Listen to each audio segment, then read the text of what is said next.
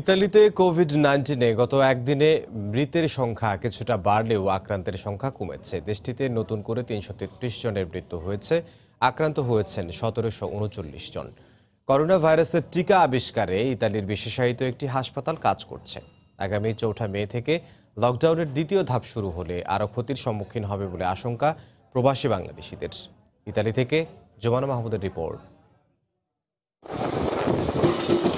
আগামী চৌঠা মে থেকে শুরু হতে যাওয়া লকডাউনের দ্বিতীয় ধাপে ইতালিতে কিছু পাইকারি ও ছোট ছোট দোকান খোলার অনুমতি দেওয়া হলেও বার রেস্টুরেন্ট পরিপূর্ণভাবে খোলার কথা রয়েছে পহেলা জুন থেকে।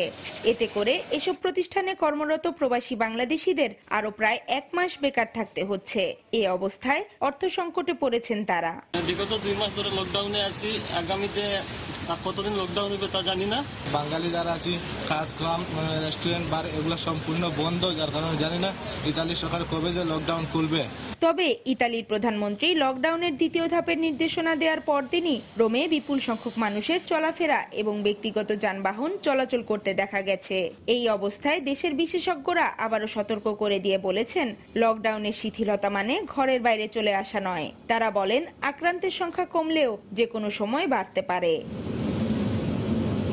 ইতালিতে কোভিড নাইন্টিনে গত একদিনে মৃতের সংখ্যা কিছুটা বাড়লেও আক্রান্তের সংখ্যা কমেছে।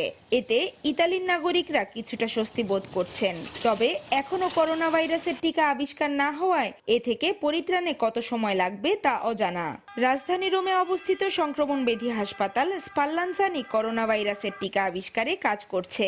এক্ষেত্রে তারা অনেক দূর এগিয়েও গেছে জানিয়ে ইতিমধ্যে হাসপাতাল কর্তৃপক্ষ স্বেচ্ছাসেবক সংগ্রহ করেছে।